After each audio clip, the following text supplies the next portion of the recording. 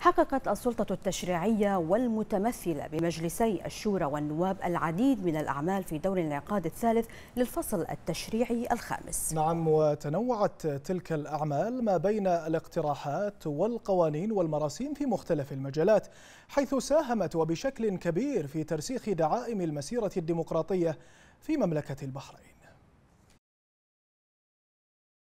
في ظل الاهتمام والدعم الكبير من لدن عاهل البلاد المفدى حفظه الله ورعاه وبمساندة صاحب السمو الملكي ولي العهد رئيس مجلس الوزراء حفظه الله للسلطة التشريعية يواصل مجلسي الشورى والنواب يدا بيد وبروح واحدة في دعم القضايا التي تصب في مصلحة الوطن والمواطنين.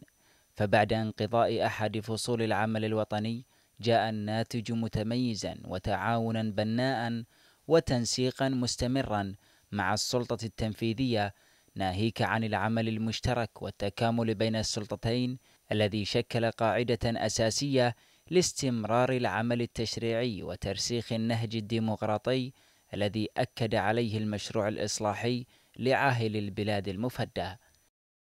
الإنجازات الوطنية هذه والتي حققها مجلسي الشورى والنواب ودورهما الفاعل في تبني قضايا المجتمع البحريني من خلال تطوير القوانين والتشريعات وترسيخ أسس دولة المؤسسات والقانون لمصلحة الوطن والمواطنين خاصة وذلك خلال دور الانعقاد الثالث من الفصل التشريعي الخامس ساهمت بشكل كبير في ترسيخ دعائم المسيرة الديمقراطية وتعزيز الوحدة الوطنية والدفاع عن قضايا الوطن. فمجلسي الشورى والنواب حقق إنجازات نوعية والتي ستترك أثرها الإيجابي على واقع العمل والإجراءات القانونية في مملكة البحرين نظرا لحرصهما على تحمل الأمانة في الدفاع عن الوطن ومكتسبات المواطنين وحماية المقدرات والمنجزات. فهذه المسؤولية الوطنية لأعضاء المجلسين تؤكد ضمان استدامة العملية التشريعية التي تشكل ركيزة من ركائز المسيرة التنموية الشاملة لإثراء العمل البرلماني التي تشهدها مملكة البحرين والتي تخدم المواطنين وتلبي احتياجاتهم.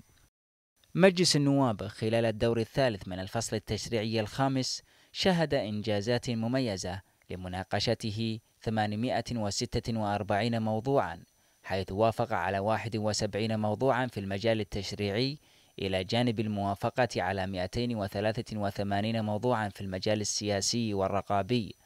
ناهيك عن الموافقة على 238 موضوعا في مجال المعاهدات والاتفاقيات الدولية.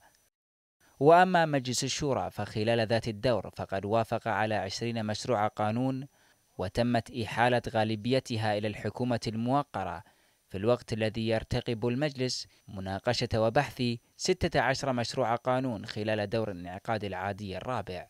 ومن أبرز مشروعات القوانين التي أحيلت إلى الحكومة الموقرة هي مشروع قانون باعتماد الميزانية العامة للدولة للسنتين الماليتين 2021-2022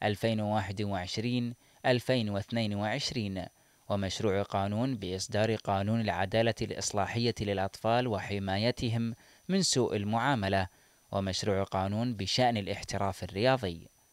فالسلطة التشريعية ممثلة من مجلسي الشورى والنواب مقبلة على حصاد تشريعي جديد مع بدء دور الانعقاد العادي الرابع من الفصل التشريعي بما يؤكد على المضي بعزيمة ثابتة وعمل مستمر لمواصلة ترسيخ وتعزيز مكانة مملكة البحرين على المستويات كافة والبناء على ما تحقق من تنمية وازدهار بمختلف المجالات.